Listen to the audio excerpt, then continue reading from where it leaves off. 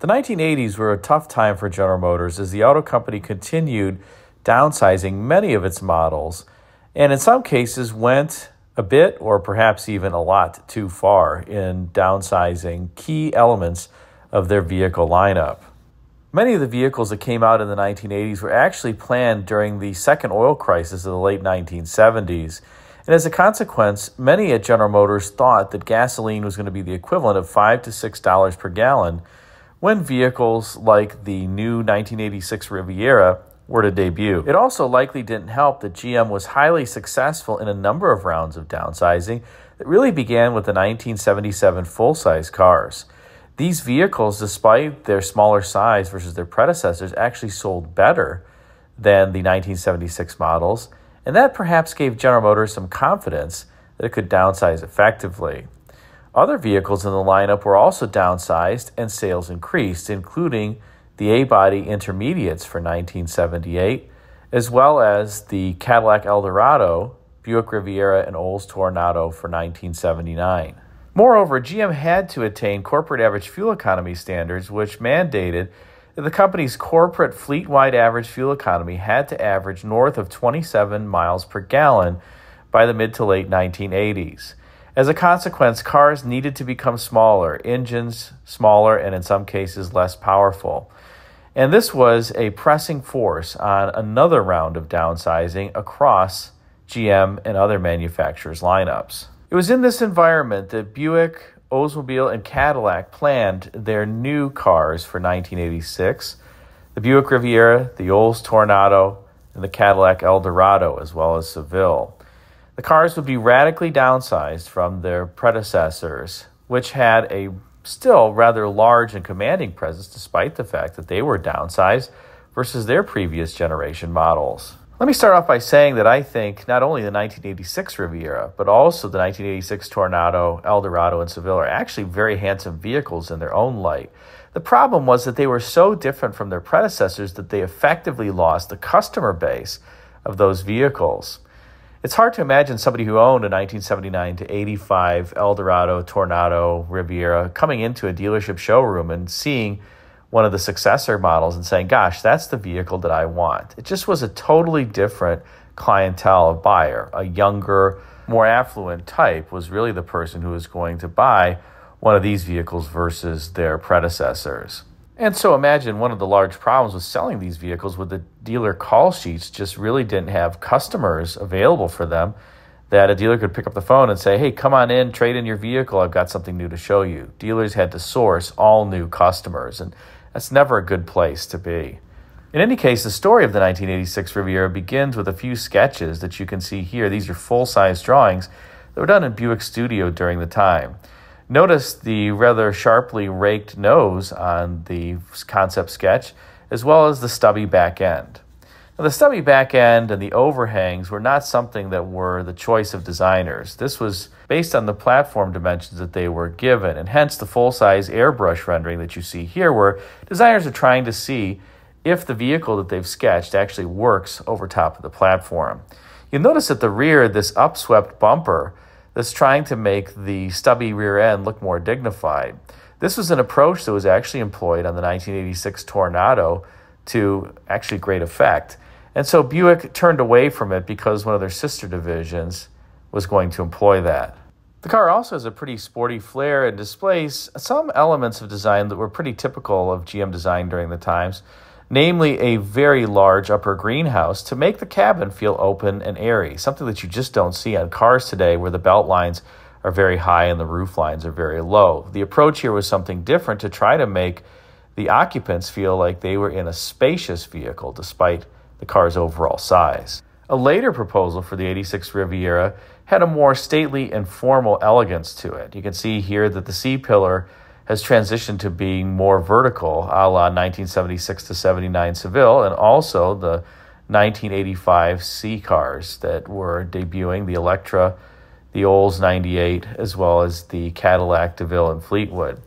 Notice also that the trunk deck lid here has a rake to it, kind of similar to the previous generation Buick. So I'm guessing the designers were trying to pull in some heritage and make the stubby rear look a little bit better. This design also displays a typical GM design characteristic of the time where the belt line is below the hood, again giving a overall glassy upper appearance to the vehicle and making the occupants feel like they're in a bigger car than they actually are. I actually find this design to be very clean and very tasteful, especially the thin roof atop there that even further accentuates the overall glassy feel from this side view. But again, it was just something that buyers were not accustomed to during this time period, especially and by the point the car was introduced, fuel prices had decreased to historic lows. So it was a terrible time to bring out a newly downsized car when fuel prices were back to around a dollar a gallon or below a dollar a gallon. As is typically the case after a full size rendering is done, at least successfully, a full size clay model was executed of that full size airbrush rendering and you can see it here on GM's design patio. Notice the interesting headlamp treatment here, as well as that sloping nose, and a hood line that goes on to form a rather small mirror. A similar hood line would be employed on the later Buick Lucerne show car. And take a look out back, you can see here those tail lights again, and the deck lid are cut at an angle similar to the previous generation Riviera. Unfortunately, as the car made it through to production, GM designers had to revise the front end and incorporate the typical sealed beam headlamps that General Motors thought would be required at this time frame. Remember, this was before the 1984 Lincoln Mark 7 had come out, which was the first vehicle to have flush composite headlamps. So GM actually was betting that sealed beams would be the only types of headlights that would be approved in the future and consequently redesigned this vehicle and others to incorporate them appropriately up front. It gave the front of the car a much more conventional look, but still pretty stately. Out back, the Riviera eventually lost its sloped deck lid as well as tail lights, mainly because designers couldn't meet their luggage volume criteria with that type of approach. So they had to stand the deck lid upright in order to enable customers to have the amount of packaging space that was required. Despite these compromises, I have to say that I think that this Riviera, the 1986 model, in particular the one that you're seeing here, remains a handsome design. Again, it was just different from what consumers were wanting at the time and really tough to introduce in a time of relatively low gas prices. However, there was another mistake that planners made that really sealed some of the Riviera's fate. And that was that Buick had come out with a similarly sized and looking N car, the Buick Somerset, one model year before the Riviera. It's never a good idea to have a more expensive car look like a less expensive car and come out later than that less expensive car. But that was the case with this Buick. And I don't believe the designers originally planned that to be the case. My guess is that the Riviera was planned before the Somerset, but ended up coming out later due to some platform delays. Nonetheless, that's what happened, and it certainly didn't help this poor little Riviera be successful in the marketplace. Here's a side view of the 1986 Riviera, and you notice that it does have some of the elements of those full size renderings, yet it did have a different deck lid as well as a front end to accommodate some of those elements that I previously mentioned. Again, overall, still a very handsome design. Now, a real controversial element of the 1986 Riviera was its interior, which you can see here had a unique steering wheel that was only employed on the Riviera, as well as quite a bit of unique switchgear. The headlamp buttons, as well as the wiper buttons, are flanking the steering wheel in vertical stacks. That was an approach that had not been tried on the Riviera or other Buick vehicles before or since. And notice the long, skinny barrel vents on either sides of those controls for the vent and air conditioning. There are also some new type controls like the window switches, which are behind the gear shift there on the center console, as well as the mirror control. Those are those two sets of switches that you see there. And of course, this one has a tape deck because you have to have a tape deck in your Riviera. This particular Riviera also has a flocked instrument panel, the glove box, as well as the left side of the dash have that kind of mouse fur feel to them, which I think is especially, well, unique for lack of a better term. And of course, the steering wheel has the cruise control buttons there on either side of the spoke. I do think that this is an interesting steering wheel for a number of reasons. Although, as I mentioned, it was just unique to the Riviera. I don't think I've seen a three spoke design, particularly in Buicks, that's very similar here with thin spokes horizontally and a very thick center spoke. I think it's tasteful overall. However, take a look at that center stack and you see one element of this interior that was not very well accepted at the time and really was just way ahead of its time in vehicles. And that's Buick's electronic CRT display. Called the Graphic Control Center, this display controlled your climate control, your radio. You could also see engine gauges and run diagnostics through it, as well as your trip computer. And you can see each of those functions had a button for it.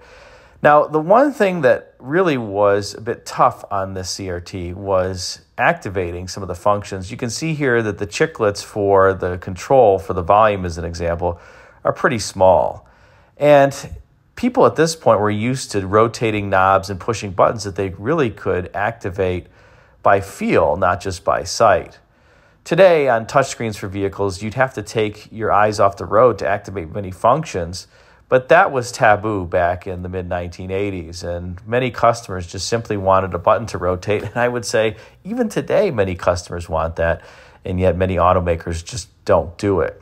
So, this GCC, the Graphic Control Center, really was an innovative and pioneering feature that wasn't all that accepted by Buick's clientele, but was something that was very futuristic and would actually be a harbinger for what was to come only three to four decades later. I will point out one other interesting thing about the GCC and the buttons that you see here, and that's that General Motors spelled gauges G A G E S, which it typically did during this time period, General Motors was very focused on spelling words with alternate spellings, potentially even ones that to the outside world were not acceptable, but in ways that could save a letter because they believed it could save money. Internally, as an example, GM would spell employee with just one E at the end, two E's overall because it believed that doing so would save money as each letter in an email that you were to type as an example back then or some correspondence would take up a certain amount of memory on a mainframe computer. And so saving that last E was going to save the company some money. It was kind of silly, but GM did it for a number of years, and you'll see in their employee handbooks that they spelled employee that way. As we pan back and take one final look at the interior, you'll notice that the seat design here is also pretty awesome and unique. It's got these suede inserts that almost look like you cut the leather and then the leather opens up to expose its suede skin. I think it's an awesome looking design. Some of these Rivieras would have reversible seat covers as well that were very similar to the Packard Caribbean as an example, with the front side being cloth, the back side being leather. This one doesn't have it on this particular edition, but I thought that was another neat touch on the interior. So the interior of this 86 Riviera was really a technologically advanced, I think very handsome again design on this particular vehicle. And here's a better close up of these seats so you can see what I'm talking about. Pretty cool design that I really haven't seen before or since. And you notice that there's almost individual thigh rests, a la what Lincoln was doing a few years ago on some of its vehicles, although these are not individually adjustable. Under hood in these Rivieras would reside Buick's 3.8 liter engine that would make somewhere between 140 and 165 horsepower, depending upon which engine you had in which model year. 1988, of course, had the more powerful 3800 engine that had a balance shaft incorporated into it. 1986 and 1987 Rivieras of this design had a 90 degree 3.8 liter V6 pre 3800 Series 1 that did not have a balance shaft, and consequently, it shook a little bit at, I would say, not idle speed, but a little bit off idle, kind of fast idle speed. GM engineers had tuned it to be pretty smooth at idle and pretty smooth at cruising operation, but at around 1,000 RPMs, did have a little bit of a shake to it. And it's also one of the few engines that GM produced where the connecting rods are not in the center of the pistons. That would later be revised on the 3800 as the banks of the V would be moved not to be perfectly opposite one another, but instead staggered, allowing the engine connecting rods to be moved back into the center line of the pistons. This was also a period during which GM was taking its engine dress up under hood very seriously, and you can see some well, interesting features here. First is that the spark plug wires aren't visible coming from the rear coil pack, and they kind of tuck underneath these covers so that you don't see them. And I think the most interesting design feature here is that the EGR valve has a plastic cover over top of it that serves no other function than looks. But as I said, GM was into the looks under hood at this period of time, especially with the 1984 Corvette. I think that's one of the first vehicles where it really started. And it made the underhood area look better as opposed to just dumping a plastic beauty cover over top of everything like they do today. 1987, which marks the model that's shown here, was also the first year that the MAF sensor had a different shape from what was introduced in the 1985 C bodies and 1986 C and H bodies, as well as the Riviera, where the center section was just a constant diameter circle, if you will.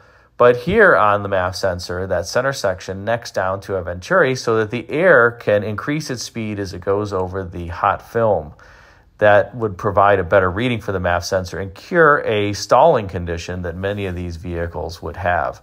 It also helped that GM put a honeycomb filter on the front side of the MAF sensor to help straighten out the airflow. So, a little technical jargon for you on why these 1987s tend to run better than the 1986 Rivieras as well as the 1985 C bodies. And on that note, we conclude our discussion of the 1986 to 88 Riviera. If you enjoyed it, be sure to like, comment, and subscribe. Let me know what you think of this review. Check out the video thumbnails at bottom left and right for some suggestions for you.